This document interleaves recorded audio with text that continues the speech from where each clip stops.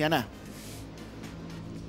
Así es, Renzo, volvieron las clases y con las clases, bueno, la posibilidad de acceder eh, a movilizarse en forma gratuita, que tiene el boleto estudiantil gratuito de la Municipalidad de San Miguel de Tucumán. Y estamos con María Elena Herc, la encargada de coordinar todos estos beneficios, que nos explicaba que es tan fácil, la gente a veces se complica, ¿no? Porque ahora hay que renovar el certificado, Ah, hay que mostrar que seguís siendo un estudiante Sí. y tenés hasta el 31 de agosto para hacerlo.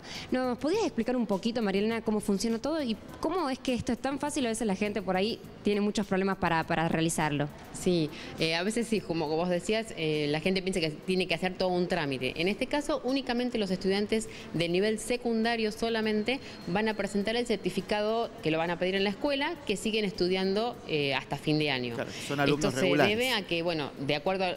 Exacto, de acuerdo a los controles que nosotros vamos llevando durante el año, a partir de marzo que empezamos a dar el beneficio, eh, hay muchos chicos que dejan de estudiar o gente que presentó certificados que no eran de la escuela o que dejan de estudiar justamente. Entonces, bueno, viendo eso, nosotros vimos bueno, la necesidad de hacer este tipo de control. Eh, lo, lo tratamos de hacer lo más simple posible, que es eh, presentar, simplemente tienen que venir a San Lorenzo 1270, atendemos de 9 a 13 y de 14 a 18 y dejar el certificado. No hace falta que traigan el carnet, no hace falta que venga el abonado, no hace falta, puede venir la mamá, el papá, algún familiar que ande por la zona, tienen tiempo hasta el 31 de agosto y entregan el certificado, nosotros registramos el certificado y simplemente se sigue eh, usando la tarjeta. Otra cosa que es importante también, la tarjeta está habilitada a partir del día de ayer, o sea, todos los chicos están usando la tarjeta, el servicio está habilitado, no se dio de baja ninguna tarjeta, pero al 31 de agosto, estudiantes secundarios que no presentaron el certificado, a esas personas sí se les va a bajar la tarjeta, el beneficio, digamos. ¿Cuántos son ya los beneficiados que tienen esta tarjeta y que pueden circular en forma gratuita? En primarios y secundarios estamos hablando de alrededor de 53.000 alumnos que ya tienen el beneficio y ya lo están utilizando. Más los universitarios también. Más todo el beneficio universitario, que están alrededor de 35.000, fue hasta el mes pasado.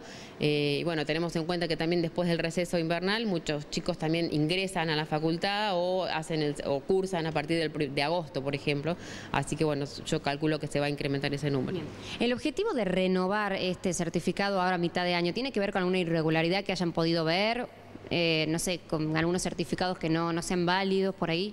Eh, sí, justamente por eso es que se pide, se pide ese control, ¿no? Mucha gente, quizás eh, nosotros damos el beneficio a, a los adultos también que están haciendo primaria y secundaria y vimos algunos casos en que los certificados no condecían con los alumnos que iban a cursar.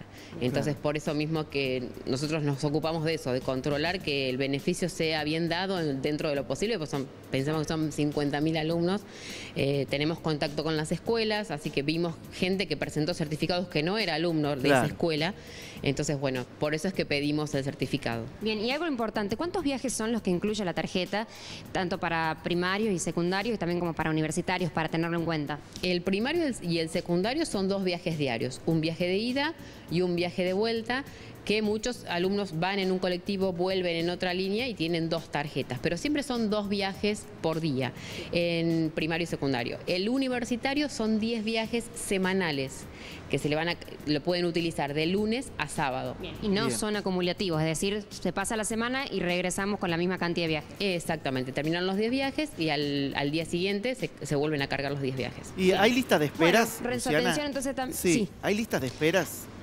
No, No. listas de esperas para hacer el boleto, no. No. O sea, tengamos en cuenta que todo lo que es primario y secundario, los alumnos Sí. vienen acá sacando un turno, pero estamos al día con los turnos. Bien. A esta altura de- del año, digamos, no hay tanta gente.